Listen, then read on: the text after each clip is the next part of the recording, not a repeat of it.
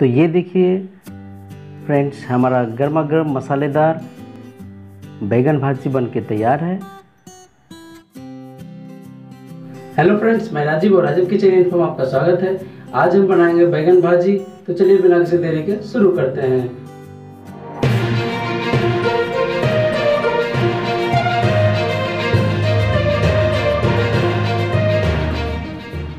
बैगन भाजी बनाने के लिए फ्रेंड्स हमने एक बैगन लिया है। और इसके ऊपर वाले डंठल को हम काट के निकाल देंगे।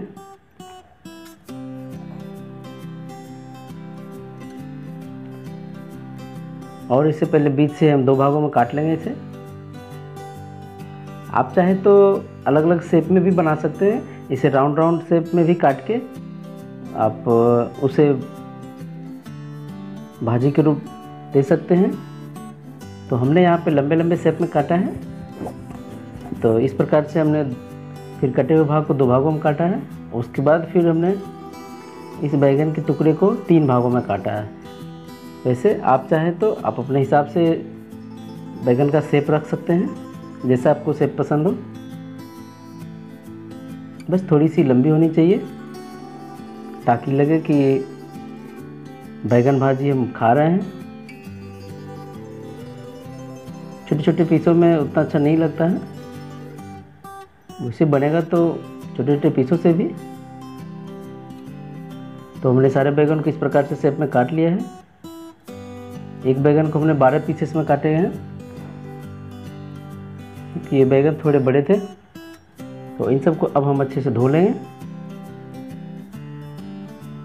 बैगन को धोएँगे ज़रूर फ्रेंड्स, क्योंकि धोने के बाद इसमें मसाले अच्छे से चिपक जाएँगे।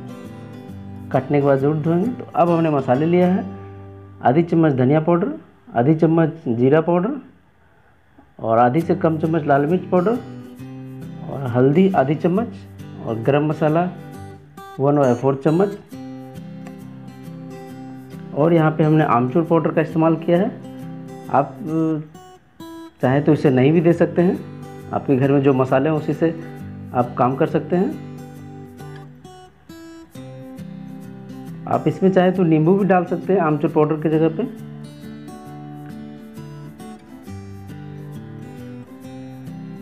तो इन सब मसाले को हम इस प्रकार से मिलाएँगे चम्मच की मदद से, और थोड़ी सी हम आधी चम्मच के आसपास इसमें पानी ऐड करेंगे, ताकि ये मसाला अच्छे से इसमें चिपक जाए। तो ये देखिए, हमारा फाइनली मसाला मिल चुका है। अब हम इसे सेट होने के लिए पाँच मिनट के लिए छोड़ देंगे, ताकि ये मसाले अच्छे से भीग जाए।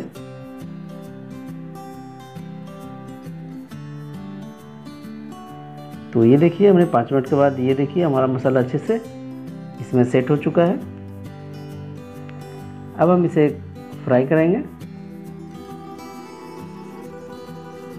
फ्राई करने के लिए हमने फ्रेंड्स एक फ्राई पैन लिया है। आप चाहे तो तवे पे भी इसे बना सकते हैं, या कढ़ाई में भी बना सकते हैं। हमने फ्राई पैन लिया है यहाँ पे। फ्राई पैन में थोड़ा अच्छे से ये बन जाएगा। किसी भी बर्तन में आप बना सकते हैं।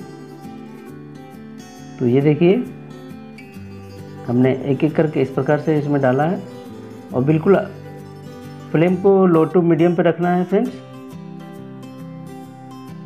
तो ये देखिए, हमने सारे बैगन को फ्राई पैन पे डाल दिया है।